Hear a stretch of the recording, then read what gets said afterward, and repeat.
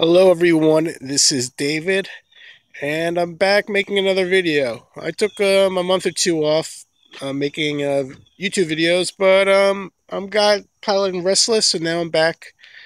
So uh, what you have here is my, uh, what I have here is my black electric Brompton. This is the uh, front, uh, the motor. It's a 209 Crystalyte motor. The controller is mounted right here.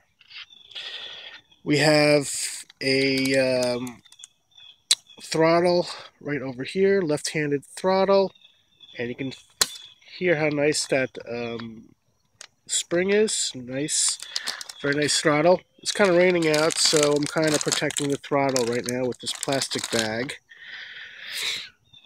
So what's interesting what I was working on today with this is this. Um, I have an extension cable going to the Burley Travoy. And in there is the battery way at the bottom the bag. And I'll take this off. And these are um, XT90S connectors and it worked out pretty nicely.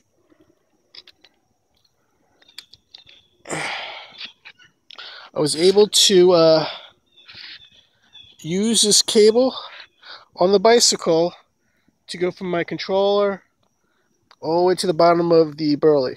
So what does this mean? This means uh, I have about five batteries. I can load this up to with uh, 60 pounds worth of batteries. And uh, and go somewhere.